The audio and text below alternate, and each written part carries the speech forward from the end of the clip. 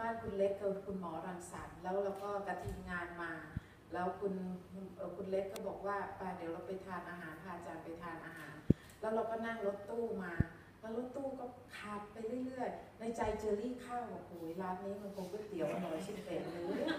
นะโอ้ยทำไมไม่ถึงสักทีมันตั้งนานแล้วมันก็มืดน่ะ มันก็มืดเราก็ไม่รู้ว่าจะพาไปไหนแต่ไม่ได้ถามแหละไม่ถามแต่ก็มีเจอรี่แอบเจอรี่ข้าวบอกโอ้ร้านอาหารร้านนี้คงจะสุดยอด ที่สุดเลย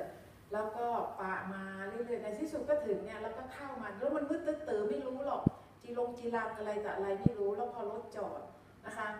เนี่ยก็ผู้หญิงคนนี้เนี่ยเข้ามาวุ้ยมาเอาพวงมาลัยมาแล้วมากราบเราใครวุ้ยรู้จักคุณรู้ชมรู้ใช้ไม่รู้จักเฮ้ยกระซิบถามใครอะใครอะแล้วพาเรามาที่ไหนอะ แล้วคุณปาก็พาเข้าไปในร้านอาหารตรงนั้นน่ะ แล้วพวกเราก็ทานข้าวแล้วก็ค่อยๆคุยกัน ถึงรู้แล้วถึงเล่ามาเล่าให้ฟังว่าอ่านเรื่องอดอุตริเขาบอกอ๋ออ่านอดอุตริถึงรู้แต่ไม่รู้วันนี้เนี่ยก็เรียกว่าการเนี่ยมันมาชนกันนะคะโดยอาจารย์ก็ไม่รู้จักมาก่อนแต่จากจุดนั้นแหละที่เป็นครั้งแรกที่ได้รู้จัก